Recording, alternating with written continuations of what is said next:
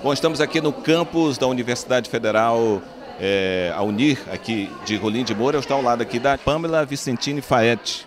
Ela é uma das organizadoras do evento aqui. Professora, qual vai ser o ponto alto desse evento durante esses cinco dias, aquilo que mais vai chamar a atenção da população? Bom, o nosso festival, na verdade, ele é um festival que se propõe a pensar a diversidade, né? pensando a questão cultural.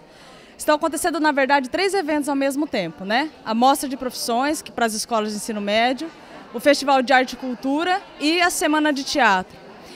É, o ponto alto do nosso evento, é, na verdade, é a mistura dessas três coisas, né? Para a comunidade, esse momento da gente poder receber é, as pessoas aqui no nosso campus, né, poderem ouvir música, dança, poderem ouvir um pouco das comunidades indígenas que vão falar com a gente. Então a ideia do festival, o ponto alto, é a celebração da diversidade.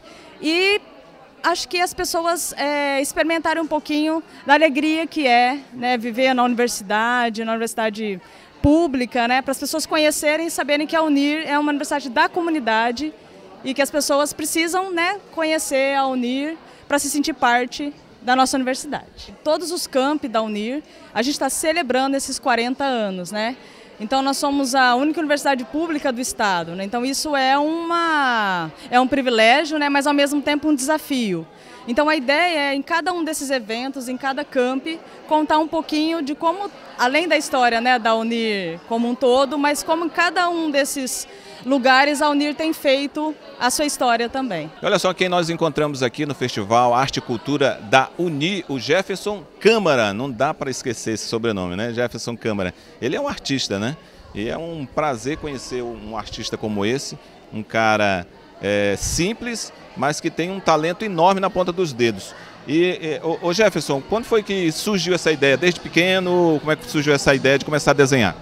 Então, surgiu vendo um colega meu no ensino médio, né? Como eu disse antes. E eu vendo ele, eu achava bacana, porém eu nunca, nunca quis aquilo.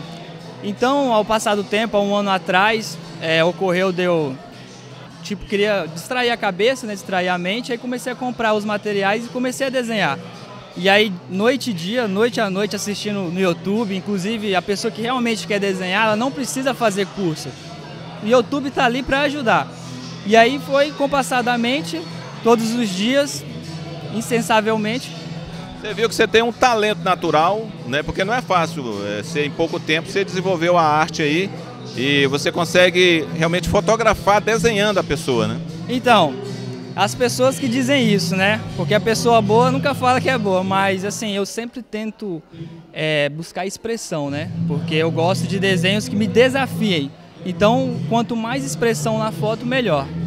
Bom, então é o seguinte, aqui nós estamos falando do Festival Arte e Cultura, ele é um artista, está fazendo a arte dele, e de repente você que estiver interessado, nós vamos colocar na tela aqui o teu contato, vamos colocar o contato aqui do Jefferson Câmara, para que de repente você que estiver interessado, você vai estar tá vendo aí a arte do Jefferson e outra oportunidade vamos fazer uma matéria exclusiva só falando dessa arte do Jefferson, beleza? O evento começa hoje, vai até sexta-feira, nós temos programações é, manhã, tarde noite. É aberto para a população, então você que está nos assistindo, esteja convidado a participar, venha com sua família, com seus amigos, prestigiar.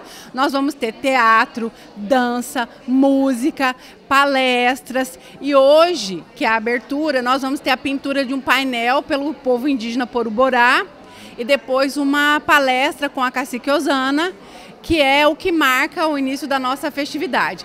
Foi preparado com muito carinho, a equipe toda trabalhou bastante empenhada, a professora Pamela e a professora Cíntia estiveram à frente dos trabalhos, mas contou com a adesão dos alunos, dos técnicos e da comunidade acadêmica como um todo. Neste momento está acontecendo a festividade aqui, o evento aqui, mas também em Porto Velho, no Palácio das Artes, onde tem uma, uma ampla homenagem para a gente festejar os 40 anos da nossa Universidade Federal de Rondônia. Amanhã nós temos, todos os dias serão dias bastante intensos e com uma programação muito carinhosa.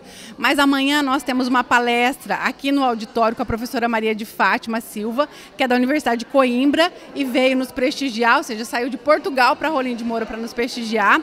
E sexta-feira nós temos uma apresentação de teatro. Então, aqui no município, como nós temos uma baixa oferta de programação cultural, cultural, venha participar na sexta-feira, porque a gente tem uma peça grega adaptada ao tempo contemporâneo que a equipe da professora Cíntia, do Grupo Medeia, preparou e vai apresentar aqui para nós.